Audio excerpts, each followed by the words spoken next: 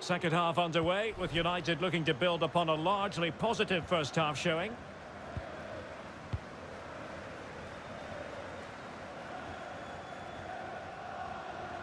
He's enjoying space.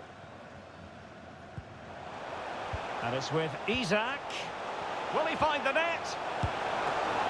Still possibilities. And the keeper's hand does the trick.